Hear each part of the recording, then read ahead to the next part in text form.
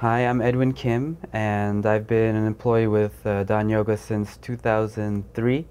And uh, one of the biggest health benefits I've seen is that I used to always have a stuffy nose since I was a little kid, and I couldn't breathe through my nose. But uh, since I started the Dahn Yoga practice, I've never had that problem. I can breathe through both nostrils. But more importantly than that, I used to be an overthinker.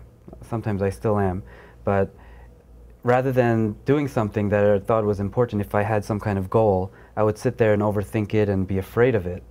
But uh, now I'm able to really take action, and uh, if I feel something has some purpose and value in life, I'm able to do it and at least attempt it and give it a try without that fear.